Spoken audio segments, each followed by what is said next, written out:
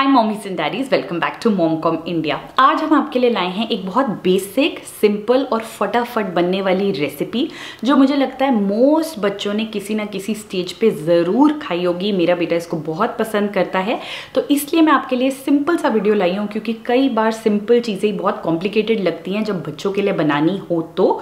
तो आप पहले ये वीडियो देखो और लास्ट में कुछ इंपॉर्टेंट बातें इसके बारे में डिस्कस करेंगे। वीडियो को लाइक करना मत भूलना अगर आपको पसंद आएगा तो। तो यहाँ पे हमने भिगोई हुई है दो चम्मच राइस और दो चम्मच मूंग की दाल, आधा घंटा भिगो के रखा है। ये चम्मच का साइज़ है और हमने लिया थोड़ा सा जीरा नमक स्वाद अनुसार। थोड़ी सी हल्दी, घी यूज़ करेंगे, एक गिलास पानी और थोड़ा हींग यूज़ करेंगे। कुकिंग प्रोसेस स्टार्ट करते हैं। गैस जला ली हमने और उस पर अपना कुकर रख दिया है। कुकर अब जब थोड़ा गर्म हो जाएगा तो हम इसमें डालेंगे एक चम्मच भर के घी और फिर घी को गर्म होने देंगे। अब हम गैस का फ्लेम स्लो कर देंगे और इसमें जीरा डाल देंगे। जब जीरा थोड़ा फूटने लगेगा, तब हम इसमें चुटकी भर हींग डाल देंगे और दोनों को थोड़ा सा पकने देंगे। जब ये दोनों थोड़ा पक जाएँ, तब हम अपना पहले से साफ़ और भिगोया हुआ दाल चावल यहाँ पे डाल देंगे। उसके बाद हम एक ग्लास पानी, यहाँ पे मैंने आर का ही पानी लिया है, वो हम यहाँ पे डाल देंगे।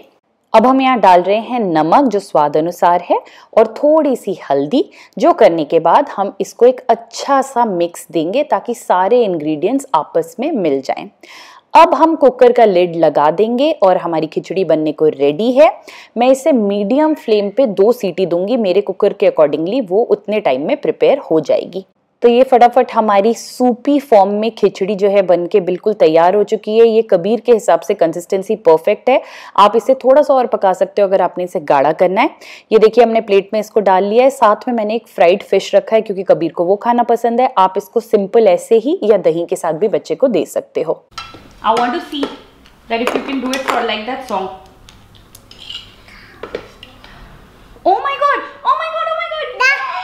Caught fish. Can I can I sing a song? Okay. One. Is it hot? Or is it warm? Um, Warm. Okay. warm is good for you, Shona. One, two, three, four, five. Once I caught a fish alive. तो जैसे कि आपने देखा, कबीर अपनी खिचड़ी को बहुत enjoy कर रहा है, उसको ये बहुत ही पसंद है, जैसे कि मैं ऑलरेडी बता चुकी हूँ। तो मैं इस रेसिपी को एक मल्टीपर्पज़ रेसिपी बोलती हूँ, अब आप सोचोगे क्यों? सबसे पहला कि जब बच्चे के लिए फटाफट कुछ बनाना हो और कुछ हेल्दी बनाना हो तो ये मेरी गो टू रेसिपी है। क्योंकि बहुत मूंग दाल जो है, बहुत एक्सीलेंट सोर्स है प्रोटीन का और चावल भी बच्चों के लिए बहुत ज़रूरी होता है। प्लस हमने इसमें जीरा डाला, हींग डाला, जो डाइजेशन के लिए बहुत इंपॉर्टेंट है। हल्दी डाली जो एक एंटीसेप्टिक है बॉडी के लिए तो overall it's a simple healthy recipe जो फटाफट आपको अपने बच्चों को बना के देनी है। अपार्ट फ्रॉम दैट जब बच्चों की तबीयत ठीक नहीं होती है स्पेशली लूज मोशंस लगी हुई हैं या बुखार हुआ हुआ है या कोल्ड हुआ हुआ है, जब कोई हैवी फ़ूड खाने का बिल्कुल मन नहीं करता है, देखने का भी मन नहीं करता है लाइट फ़ूड खाने का मन करता है लिक्विडी फ़ूड खाने का मन करता है तो ये सूपी फॉर्म की रेसिपी उन दिनों के लिए एब्सोल्युटली परफेक्ट है। इसका बेस्ट पार्ट ये है कि आप इसकी जो कंसिस्टेंसी है, उसको और पतला या गाढ़ा कर सकते हो डिपेंडिंग ऑन कि आपके बच्चे इसको कैसे पसंद करते हैं तो आप इसके साथ थोड़ा सा जो है एडजस्टमेंट डेफिनेटली कर सकते हो। ऑल्सो आप इसी रेसिपी को अलग अलग फॉर्म्स में बना के इसकी न्यूट्रिशनल वैल्यू को और भी ज़्यादा बढ़ा सकते हो।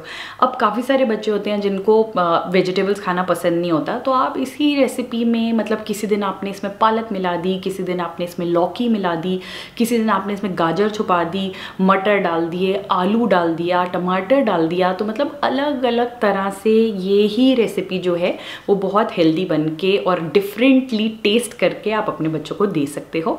प्लस एज साइड्स जैसे मैंने कबीर को फ़िश दिया तो फ़िश भी अपने आप में एक बहुत ही हेल्दी फ़ूड है।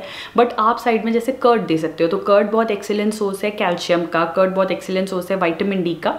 तो वो देने से भी जो पूरी न्यूट्रिशनल वैल्यू है, इस रेसिपी की बहुत जल्दी बढ़ जाती है। टाइमिंग वाइज आप ये रेसिपी बच्चे को दोपहर को लंच में भी दे सकते हो, रात को भी दे सकते हो। बहुत लाइट होता है स्टमक पे। तो एनी मेन कोर्स मील में आप बच्चे को ये दो तो बच्चा इसे डेफिनेटली इंजॉय करेगा। तो दैट्स अबाउट इट ये था हमारा छोटा सा वीडियो आई एम श्योर कि मोस्ट ऑफ़ द मदर्स को पता ही होगा कि खिचड़ी कैसे बनाते हैं, क्योंकि ये तो हर घर में होता ही है। बट मुझे फिर भी ऐसे लगा कि शायद कुछ मदर्स या कुछ फादर्स ऐसे होंगे जिनको जानना होगा कि बेबी को एक हेल्दी क्विक मील जब टाइम नहीं है और कुछ हेल्दी देना है तो वो कैसे बनाया जाए तो ये वीडियो उनके लिए है। आई होप उनको इससे मदद डेफिनेटली मिली होगी। और प्लीज़ कमेंट करके बताओ कि आपको और कौन कौन सी रेसिपीज़ चाहिए। हम ऑलरेडी नोट्स बनाते जा रहे हैं आपकी रिक्वेस्ट के बेसिस पे एंड आने वाले संडेज में आपको अपनी रिक्वेस्ट फुलफिल होती हुई ज़रूर दिखेंगी। एंड ऑल्सो मैंने दो दिन पहले एक वीडियो पोस्ट किया था कि हमने फाइव लाख सब्सक्राइबर्स अपनी मोमकॉम फैमिली में जोड़ लिए हैं और एक कॉन्टेस्ट उसी के रिलेटेड हम रोल आउट करने वाले हैं। तो वो कॉन्टेस्ट वीडियो हमारे चैनल पे आ रहा है कल। मेक श्योर sure आप उसमें ज़रूर पार्टिसिपेट करो। ये मोमकॉम इंडिया का ईयर एंड कॉन्टेस्ट है so it's going to be exciting it's going to be big and there is something really really special for you guys okay thank you for watching Momcom India bye